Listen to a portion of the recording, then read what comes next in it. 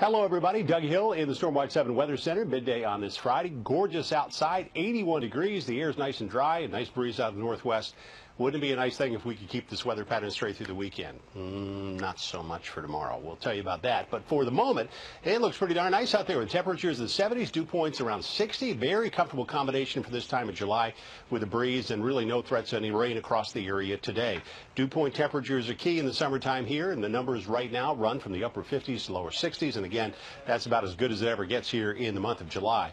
For this afternoon, we'll have a few clouds, otherwise a sunny and breezy day. It'll be seasonably warm in the upper 80s but the moisture lacking in the uh, low levels of the atmosphere will make it quite comfortable indeed. We are going to see our uh, satellite and radar uh, reveal a couple of showers moving across West Virginia, but more problematic is this uh, upper level system that's moving across southern Indiana, Kentucky. The actual uh, low is across Missouri.